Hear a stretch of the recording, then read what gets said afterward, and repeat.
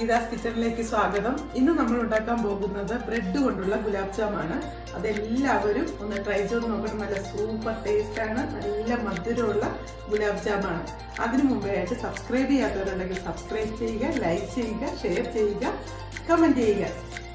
അപ്പൊ എട്ട് piece bread എടുത്തു വെച്ചിരിക്കുകയാണ്. ഇത് നമുക്കൊന്ന് കട്ട് ചെയ്തെടുക്കണം. അത് ഇത് ഇതിന്റെ സൈഡ് ഭാഗമാണ് കട്ട് ചെയ്യുന്നത്. അതൊന്നും വേണ്ടാത്തയാണ്. നമുക്കത് കട്ട് ചെയ്ത് നീക്കാം.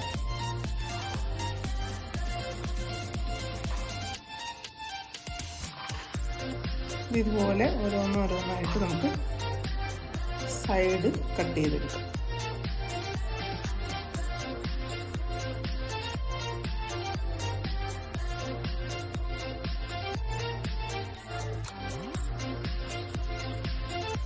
ഇപ്പോൾ ബ്രെഡെല്ലാം കട്ട് ചെയ്ത് ഇവിടെ എടുത്ത് വെച്ചിരിക്കുകയാണ്.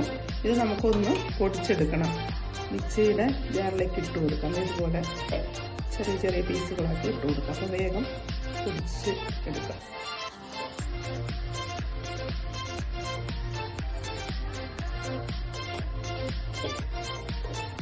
ഇതൊന്ന് പൊടിച്ചെടുക്കാം.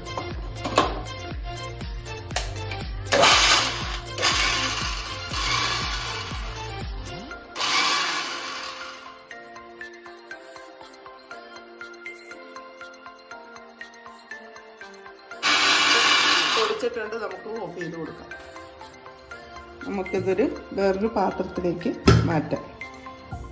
ഇത് നന്നായിട്ട് പൊടിഞ്ഞ് കിട്ടിയിട്ടുണ്ട്.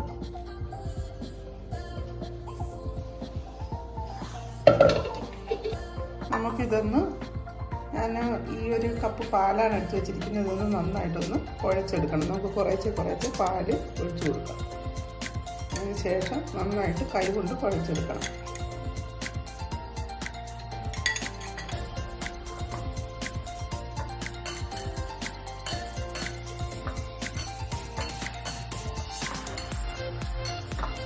കുറച്ചും കൂടി പാൽ ഒഴിച്ച് കൊടുക്കാം.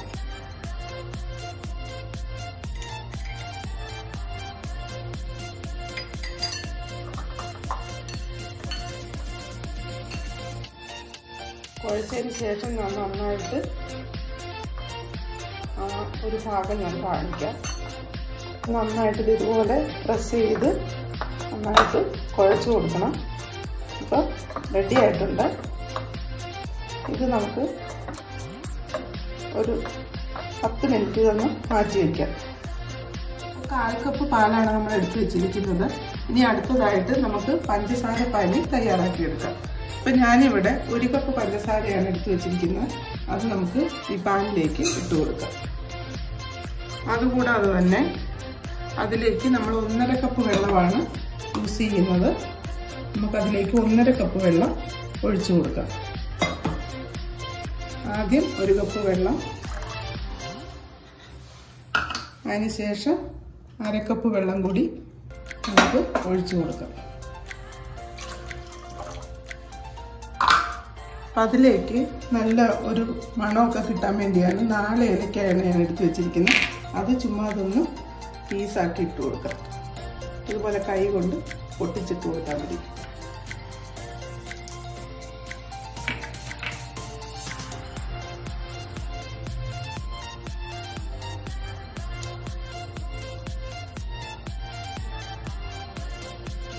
ഇനി നമുക്ക് ഗ്യാസ് കത്തിച്ചു കൊടുക്കാം. ആദ്യം ഫുൾ ഫ്ലെയിമിൽ വേണം അത് ഓൺ ചെയ്ത് കൊടുക്കാൻ. അതിന് ശേഷം ഒന്ന് നന്നായിട്ട് ചൂടായതിന് ശേഷം നമുക്കത് സിമ്മിലേക്ക് ഇട്ട് കൊടുക്കാം. ഇളക്കി കൊടുക്കാം നന്നായിട്ട്.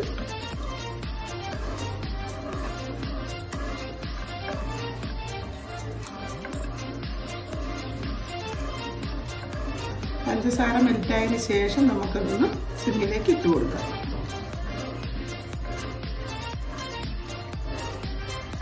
പഞ്ചസാര മെൽറ്റായിട്ടുണ്ടെങ്കിൽ നമുക്കൊന്ന് സിമ്മിലേക്ക് ഇട്ട് ഇത് നന്നായിട്ടൊന്ന് കൊടുക്കണം. ഇത് നന്നായിട്ടൊന്ന് തിളച്ച് വന്നതിന് ശേഷം കുറച്ച് നേരം കഴിഞ്ഞിട്ട് ഓഫ് ചെയ്യാതെ ഞാൻ കാണിക്കും. ഇതൊന്ന് തിളച്ച് വന്നു ഇപ്പം നന്നായിട്ട് പഞ്ചസാര പഞ്ചസാരപ്പാനി തിളച്ചൊക്കെ വന്നിട്ടുണ്ട്. നല്ല മണമൊക്കെ വരുന്നുണ്ട്. നമ്മുടെ ഏലക്കയൊക്കെ ആണ് നല്ല മണമൊക്കെ വരുന്നുണ്ട്. അപ്പോൾ അതിന്റെ കൂട്ടത്തിൽ ഇതേ നമ്മൾ കയ്യിലൊന്ന് ചെറുതായിട്ടെന്ന് വെച്ചത് ഇതുപോലെ ഒരുപാട് അങ്ങ് കട്ടിയാകാനൊന്നും പാടില്ല. ഇത് തിളച്ച് കഴിയുമ്പോൾ അതിന്റെ പരുവം ശരിയായിട്ടുണ്ട്. അപ്പോൾ ഇത് റെഡി ആയിട്ടുണ്ട്. നമ്മൾ അതിലേക്ക് ഞാനൊരു ഒരു സ്മെല്ലിന് വേണ്ടിയാണ് മൂന്നാൽ കുങ്കുമപ്പൂവിന്റെ പീസ് ഇതിനകത്തോട്ടിടുകയാണ്. അതിന് ശേഷം നമുക്ക് ഗ്യാസ് ഓഫ് ചെയ്ത് കൊടുക്കാം.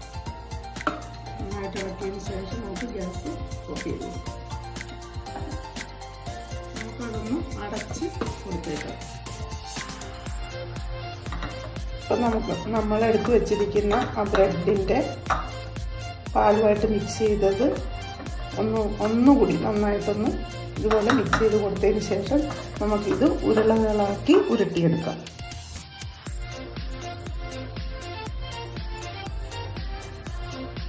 ഇതുപോലെ.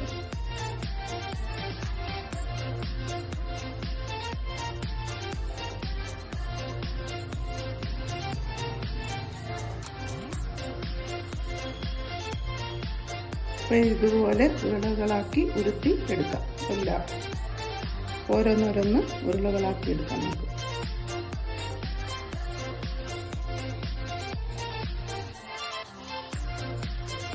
എല്ലാം ഉരുളകളായിട്ട് എടുത്തു വെച്ചിട്ടുണ്ട്. ഇത് നമുക്ക് എണ്ണയ്ക്കകത്ത് ഫ്രൈ ചെയ്തെടുക്കാം നമുക്ക് ഗ്യാസ് ഒഴിച്ചു കൊടുക്കാം. നമുക്ക് ചീനച്ചട്ടിയിലേക്ക് എണ്ണ ഒഴിച്ചു കൊടുക്കാം. എണ്ണ ചൂടായിട്ടുണ്ട്. നമുക്ക് ഓരോന്നോരോന്നായിട്ട് എണ്ണയിലേക്ക് ഇട്ട് കൊടുക്കാം. ഇത് നന്നായിട്ട് ബ്രൗൺ കളർ ആകുന്ന വരെ ഫ്രൈ ചെയ്തെടുക്കണം.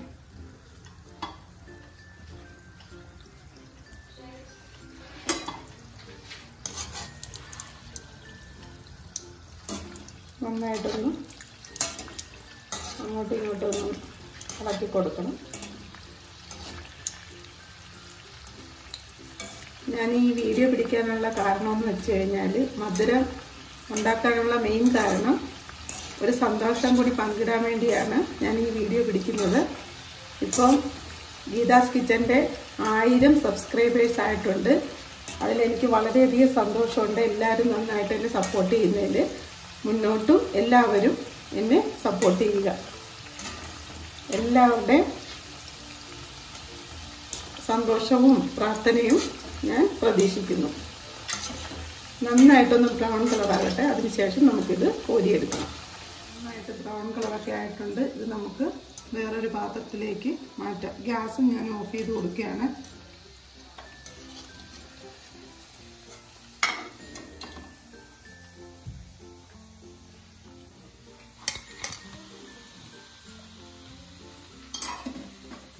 പഞ്ചസാര പാനി എടുത്തു വെച്ചതിലേക്ക് നമുക്കിത് ഇട്ട് കൊടുക്കാം.